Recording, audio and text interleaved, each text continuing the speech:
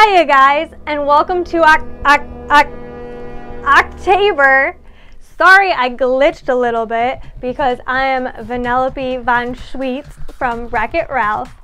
But in all seriousness, I'm so excited to be here for October and to teach you guys all these fun crafts. Today I'm going to show you how to do your own DIY chalk paint shoes to give you the perfect kicks. Everyone, it's Sam from the Auntie Tay team and you're watching The Sam Show. Let's go make some fun things.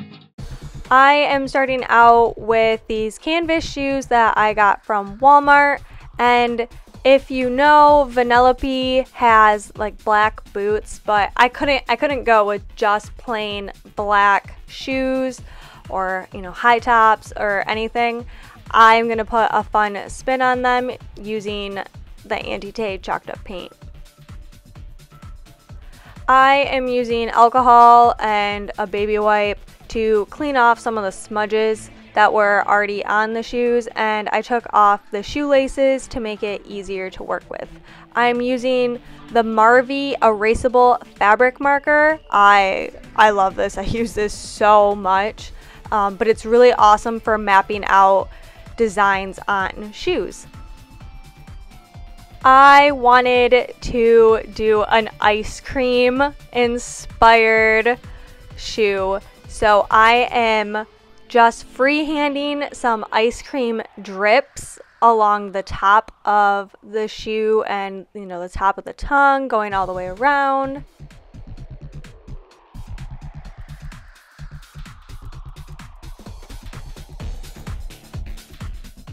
I tried to be pretty similar on both shoes, but they didn't need to be identical. So the drips were pretty similar on both shoes, but not perfect.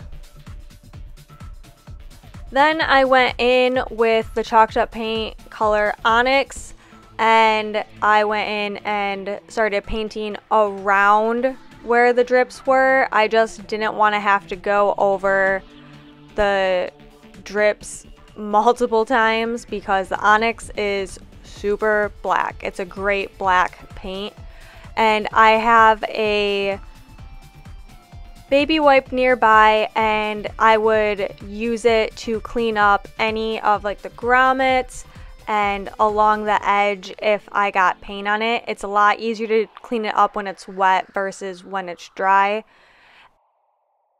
I also found out that if I wet the shoe first, so if I just took a wet brush and applied water to the canvas, the paint went on a lot easier, kind of like if you're painting a picture.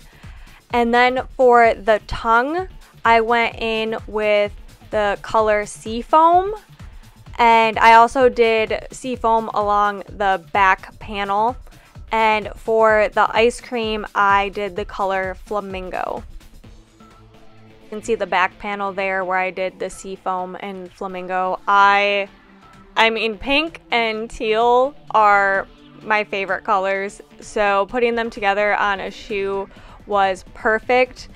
I was disappointed I couldn't find black high tops. I thought it would have been just easier to paint in the pink, but I think it was actually easier to start with white shoes and to color be able to color them whatever I want. But Chalked up paint is pretty good, so even if you have a black colored shoe, it should only take a couple layers to color over the black.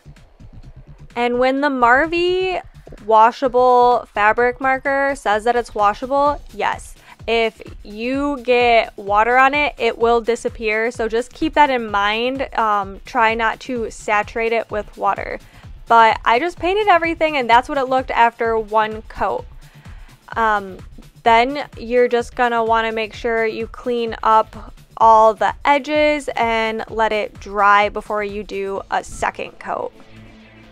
For the second coat, I was very meticulous. I used a very little brush and made sure there were no white spaces and everything was a bold, bright color. Chalked up paint makes it really easy to do that, but you just want to be meticulous too with all of those little spots. I mean, it was a huge difference putting the second coat on. It was super bright and it looked really, really good. And I let the second coat dry. For the laces, I wanted to dip dye them. I used flamingo and mixed it in the water first before I added the laces and then I let the laces sit in there overnight. I wasn't done with the shoes just yet. I had to add one more little detail. So I went in with Marvy Deco paint markers and added sprinkles. Marvy is the same company that had the washable fabric pen and they have a ton of different pens and markers they are an Auntie Tay partner. So what that means is if you are an Auntie Tay member, you can use your membership code on the partners' websites for a discount. Sometimes that's 20%, sometimes that's 30%. Every partner is a little bit different, but you're going to save money on these amazing markers. And I only had to go in once with each color. And I went with each color around just sporadically putting little dash marks all over for the sprinkles and then I just did each color.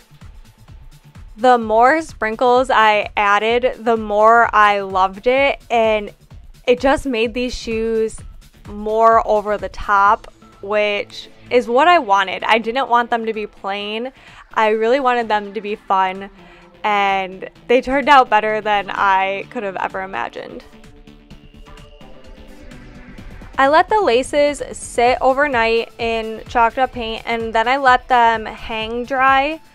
I'm just heat setting them, but they were a lot lighter than I wanted. I know when you dip dye using chalked up paint, you get a lot more light pastel colors. And originally I thought that's what I wanted, but then I realized that I didn't really like it. So then I thought maybe because Vanellope kind of has like candy cane and licorice vibes that I would do lines on them and it would be a light and dark color. And then I decided I didn't like that either. So I just went in and took a really wet brush and painted it a solid pink color. And that's the great thing about paint is if you don't like it, you can just paint over it. So I painted it solid color and I let that dry and then I laced up the shoes and that was it. That was all this took and I love these shoes. I'm obsessed with them. I hope you guys think they're super cool too. I know I'll wear them more than just when I wear my costume.